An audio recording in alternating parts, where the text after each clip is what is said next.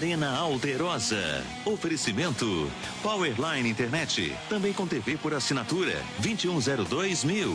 IGB Máquinas, 27 anos de qualidade e confiança em máquinas e equipamentos.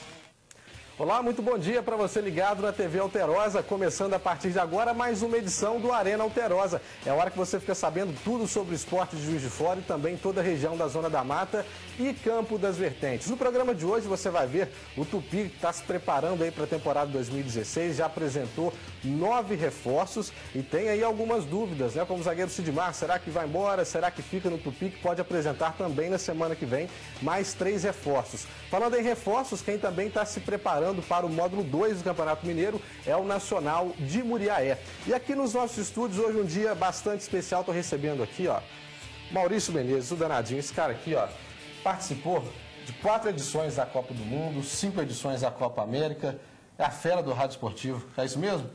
Não, você está dizendo, né? bom dia, meu querido Fernando, bom dia ao Ramon, bom dia aos telespectadores da Alterosa. É com grande satisfação que nós estamos aqui. Já estivemos aqui certo dia e agora retornando a convite do Fernando, do pai dele, do Fernando Leres, a quem muito estimo e admiro, e estou à sua disposição. Muito obrigado, uma honra recebê-lo aqui. Do outro lado, a fera do futsal, Ramon Pavão. Bom dia, obrigado por ter aceito o nosso convite e estar aqui hoje. Bom dia, Fernando. Bom dia aos telespectadores. É, eu que agradeço o convite aí é, seu e do seu pai também, Fernando Leles. É, é um prazer estar aqui participando do programa. Tá certo. O Ramon, que aqui em Juiz de Fora, né, começou o futsal bem novo, né, Ramon? Com oito anos, anos, Já passou pelos principais clubes aqui de Juiz de Fora, como o Esporte, a ABB, é, no Olímpico também, né? E, e, se destacou bastante antes de, de ir para a Tailândia. Também rodou bastante todo o Brasil. Jogou no, no, futsal carioca, no sul, também no norte, né? Catarinense, né? no gaúcho também. Joguei lá também. E para a turma nova que ainda não conhece o Ramon, a gente preparou um resumão aí da carreira dele. Vamos ver Ramon Pavão na tela.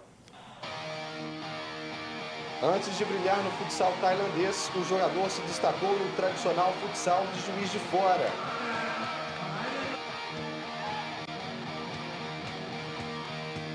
Com apenas oito anos, Ramon já estava nas quadras e mostrava o talento que em pouco tempo chamaria a atenção de quem gosta de assistir uma boa partida de futsal.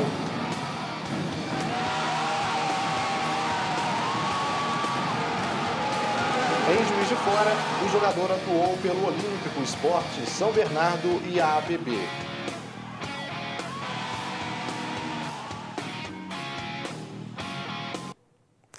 Na, na, semana passada a gente recebeu aqui o Marcos Vinícius, que também está no futsal tailandês, Acho que o, o, ano em geral, né, Maurício, esse ano aqui para o futebol de Juiz de Fora, para o futsal de Juiz de Fora, foi um ano bastante especial. Né? A gente vê algumas feras se despontando no futsal, está lá no futebol, no futsal tailandês, e no futebol em especial, o Tupi, né, que é o principal clube aqui hoje da cidade, é, conseguindo uma classificação histórica para a Copa do Brasil, indo para a terceira fase, e claro, a ascensão para a Série B.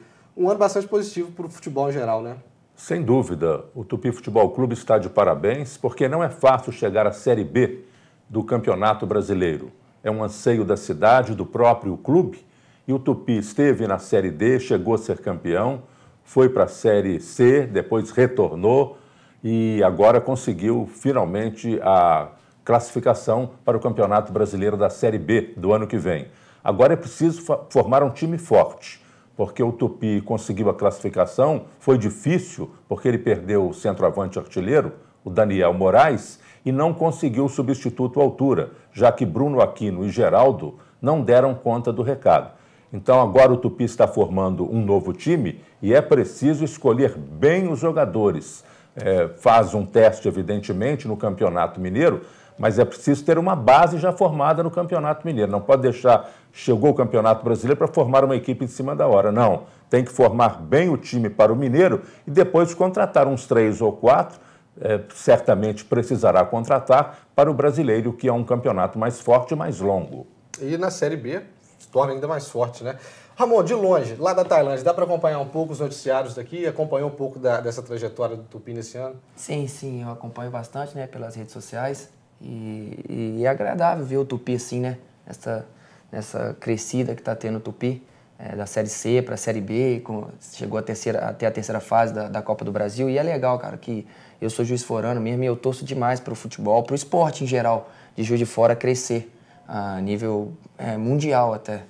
Hoje, como que está a vida do Ramon Pavão lá na Tailândia? Qual time? É a primeira temporada? Conta um pouquinho pra gente dessa mudança que você teve aí, Ramon. É, mudança radical, né? Do, do, do frio lá do sul do, do, do Brasil pro, pro calor da, da Tailândia. É, o nome do meu time lá é o Cat Telecom, é a minha primeira temporada lá. É, no começo, em relação ao futsal, eu, eu passei um pouquinho de aperto, mas agora já estou mais adaptado. Mas a, o meu aperto mesmo lá é com a culinária, cara. Culinária eu passo um aperto demais de lá. É bem difícil. E a língua também, né? Não consigo falar a língua de lá ainda. E, mas o principal aperto mesmo é a culinária. Então, no primeiro ano ainda está recente, né? Maurício Menezes, você que já esteve aí transmitindo quatro Copas do Mundo, já rodou esse mundão todo afora pelo rádio, né? O rádio esportivo. É um desafio mesmo você mudar essa, essa cultura, né? Culinária, enfim, a língua. Olha, sem dúvida. Eu, Fernando, como você sabe, eu fiz quatro Copas do Mundo, cinco Copas América e viajei por quase 30 países transmitindo futebol. Você vai num país, vai no outro, de repente você volta a um país que você não gostou, mas tem que voltar para transmitir futebol. E realmente o que ele está sofrendo não é fácil, não. É, normalmente a pessoa sofre muito com a língua, não é?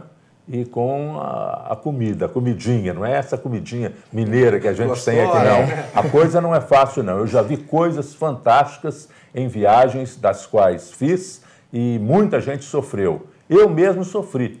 Uma vez fui transmitir, e aí aprendi. Uma vez fui transmitir um jogo em determinada cidade, que eu prefiro não dizer, e fui comer o prato típico da região antes de transmitir o jogo. Passei um mal, rapaz, mas um mal terrível. Deu, deu para transmitir? Consegui transmitir o jogo, mas foi com muito sacrifício. E o que aprendi a partir daí? Quando transmitia futebol, gostava, evidentemente, gostaria de experimentar a comidinha gostosa da região, mas primeira coisa, eu transmitia o jogo. Depois do jogo, aí sim, nunca mais tive problema. O Ramon já falou pra gente que o problema lá na Tailândia é, é a pimenta, né? pimenta. né? Para o jogador, a gente sabe que a alimentação faz toda a diferença, né? Quando você entra em campo ou entra em quadra. E aí, como é que você tem feito, rapaz? Cara, eu, eu tento, eu tento ir nos restaurantes italianos, no, no, tem um restaurante brasileiro também, para tentar suportar, né? Para me conseguir treinar, jogar, até mesmo no calor, que lá é um, um calor todo dia, 40 graus lá. E treino todo dia, direto, jogo todo final de semana. Se não alimentar direito, não aguenta a batida de lá, não. Muita gente que acompanha o futebol de campo talvez não saiba, né? Mas o futsal, o tempo é mais reduzido, mas é muito mais dinâmico, né? Uhum. Sem dúvida. A bola, não, não, o futebol tem um escanteio, a, né? demora a reposição, tem um tiro de meta, lateral. O futsal, a bola sai já coloca em jogo rápido. São mais ou menos o quê? 20, 20, 25 minutos ainda? Como que está o tempo do é, futsal É, 20 lá? minutos parado. 20 minutos, 20 minutos parado. Cronometrado. Cronometrado, isso aí. Esse 20 cronometrado se torna quase o dobro aí. Né, isso, né, isso mesmo. E quem joga futsal, eu joguei futsal quando garoto, tinha um time aqui em Juiz de Fora chamado Liverpool. E eu gosto muito de futsal também, mas quem joga futsal leva uma vantagem muito grande quando passa para o futebol de campo. Certeza. Principalmente na rapidez, né? o drible rápido, o chute rápido. É muito lançamento. importante jogar futsal, lançamento. É muito importante jogar futsal e depois jogar o futebol de campo vai levar uma vantagem muito grande quem faz isso. A gente vê a importância do futsal, por exemplo, esse raciocínio rápido, é quando as equipes do futebol de campo fazem aquele treinamento um campo reduzido, né? É. Forçando o jogador a pensar rápido. Quem joga futsal vai para o campo já tem um raciocínio um pouco mais à frente de quem está acostumado com, com, jogadas um pouco mais longas, uhum. né? aqueles lançamentos mais compridos. Futsal também favorece essa parte, né, Ramon? É, favorece bastante, né? Você treinar em campo.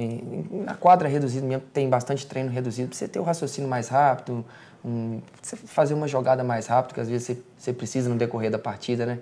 Aí ajuda bastante. Lá na Tailândia, é, hoje, a, a, sua equipe, o CAT, né, o que você pôde conquistar? Já vi que você já teve aí duas vezes né, na, na seleção da rodada, três, três vezes na seleção da rodada, algumas acompanhadas aí do Marcos Vinícius que esteve com a gente no programa passado. Isso.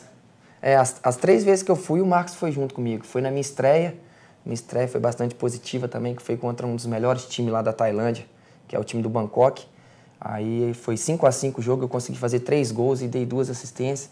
E as duas últimas rodadas, a penúltima e a última, que, que eu tive o prazer de estar na, na, seleção de novo, com o Marcos, com o Romualdo e até com o Pepe, que, que jogou na BB comigo aqui em Juiz de Fora.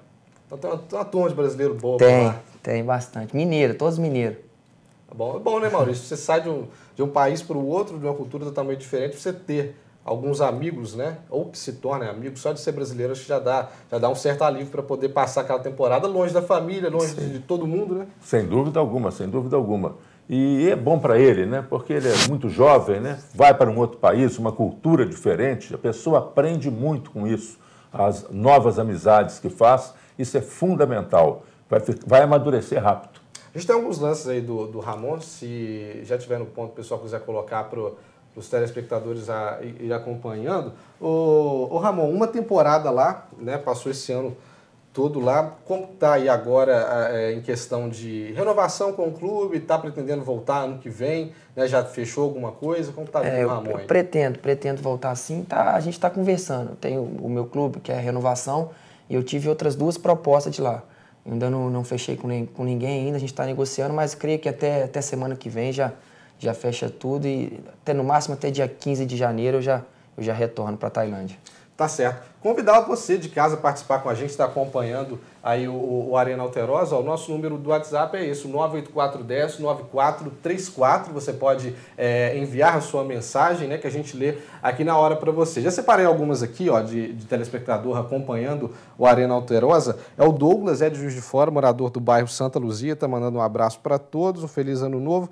Eu tenho aqui também Deixa eu ver. Ó, tá deixando um abraço para todos os flamenguistas. Esqueceu de deixar o nome e, e o local. É importante você colocar o seu nome e de onde está enviando a mensagem. O Valton de Muriaé também deixando seu abraço, está ligado no Arena. Um abraço para você, Valton. Um abraço a todos aí na cidade acompanhando o Arena Alterosa. A gente falava desse ano, Maurício, 2015 foi um ano bastante especial. O Tupi, que se prepara agora para o Campeonato Mineiro, também para o Campeonato Brasileiro da Série B já apresentou aí nove reforços, né? São jogadores que, que vieram aí de alguns clubes do interior, próprio interior de Minas, interior de São Paulo, enfim, para formar uma equipe para disputar a Série B. O que você vê desses nove, nove reforços? É o suficiente ou precisa de trazer gente um pouco mais rodada aí no, no... Sem dúvida alguma, o Tupi terá que trazer outros jogadores. Certamente ele não fará isso agora, deixará para fazer depois do Campeonato Mineiro.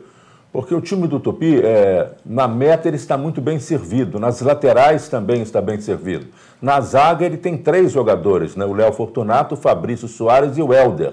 E precisa contratar mais dois zagueiros, de preferência jogadores jovens. Veja bem, o Fabrício Soares é um ótimo jogador, mas já vai completar 38 anos. O Léo Fortunato vai completar 33 anos. Se os dois forem titulares, imagina só, dois jogadores, um com 38, outro com 33, para correr atrás de garoto no Campeonato Mineiro. Colocar o Ramon lá, por exemplo, correr. pois é. Então não se sabe se os dois vão jogar juntos. Tem o Helder, que tem 26 anos, já dá um equilíbrio. Mas há muita suspensão em campeonato, né? É. Muita suspensão e justamente por causa de contusão também, Tupi precisa de mais dois zagueiros jovens. E precisa contratar também mais um volante, é, na minha visão, mais dois meias e três atacantes. O ataque está muito fraco porque ele só tem o Ramon e o Michel. É, o Ramon é um, é um, bom jogador, mas não foi titular na temporada que o Tupi disputou. E o Michel é um jogador que veio da Portuguesa de Desportos, jogou no futebol mineiro, surgiu bem lá na Portuguesa, mas não sei se é aquele jogador que o Tupi precisa. Só o tempo vai dizer. Contratou esse William Kozlovski, né, do Goiás, um jogador de 32 anos, jogador experiente, manteve o Vinícius Kiss, contratou o Hiroshi, que eu não me lembro bem, Acho veio da Cabo Friense. Isso foi muito importante, né? Que é, funciona como motorzinho do time ali, né? Funciona, mas precisa ter alguém do lado dele. O Marco Goiano, por exemplo, que foi para o Remo, né? Sim. Era um bom jogador, mas vagalume, né? Acende, apaga, acende, apaga e não mantém uma regularidade. Esse jogador, para fazer companhia, o Vinícius, Vinícius Kiss, precisa ser um jogador muito bom, jogador-chave, porque ali é que a coisa vai funcionar. E precisa reforçar o ataque. Ramon, já teve passagem pelo futebol de campo? Sim, é, inclusive no Tupi, me profissionalizei ali no Tupi, joguei em 2009 com o Fabrício Soares até. Sim, sim. É, meu amigo. É, mas não, não, deu muito certo, não. Eu preferi o futsal e aí estou até hoje no futsal. Eu vou, vou, arriscar aqui. Geralmente o canhoto, quando é habilidoso, igual você é habilidoso, ou joga no, na meia esquerda ou na ala esquerda. O que o Ramon jogava? Nos dois. Nos dois? Nos dois. Jogar futebol, o futebol, de, futebol em geral, né, Maurício? Eu acho que é muito bom, né? O futsal, o, futebol de campo, geralmente a gente pega. Eu, eu citei aqui no programa passado o exemplo do Falcão.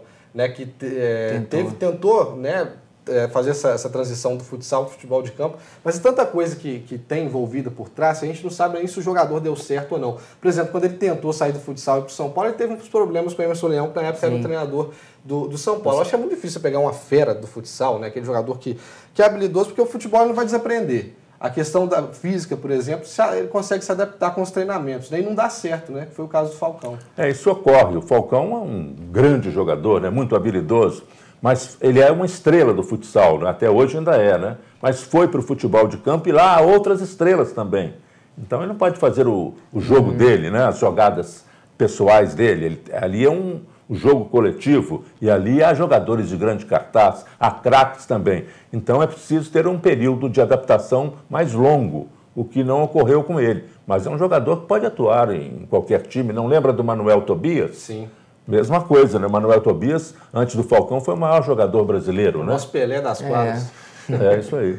Agora, o, o Fernando, é, outro dia eu estava conversando com um amigo meu e cheguei à seguinte conclusão: o Juiz de Fora precisa melhorar o seu estádio. Sim. O estádio municipal de Juiz de Fora é bom, todos nós reconhecemos. Mas veja bem, já tem muitos anos e o estádio precisa de cobertura para que o torcedor não sofra com a chuva nem com o sol muito forte. Eu fico pensando por que não foi feita ainda uma parceria é, com a empresa privada, claro. no sentido de que o estádio passe a ter cobertura. É muito importante, o torcedor fica mais tranquilo para ir ao estádio. Nosso estádio precisa é de um restaurante que não tem. Às vezes o pai quer levar o filho, às vezes passar um dia no estádio, almoça no estádio, é, visita lojas do estádio que o estádio também não tem.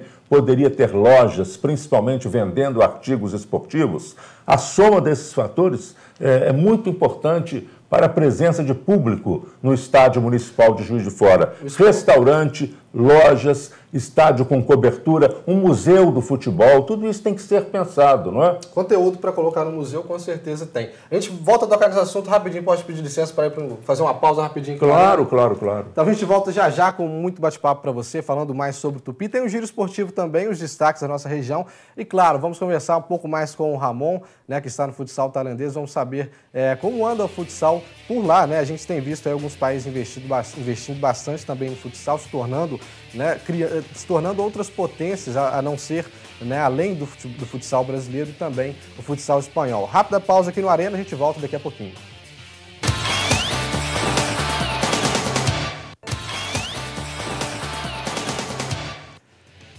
De volta com o Arena Alterosa, quero aproveitar de novo e fazer o convite para você participar aqui com a gente do, do, do Arena.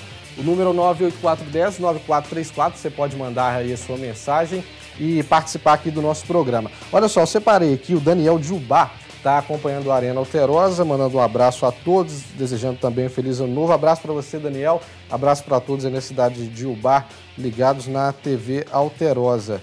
Tem aqui também ó, o Jefinho, o Jefinho é do bairro Grama, aqui de Juiz de Fora, e ele pergunta ao Ramon, faz uma pergunta para você aqui, Ramon.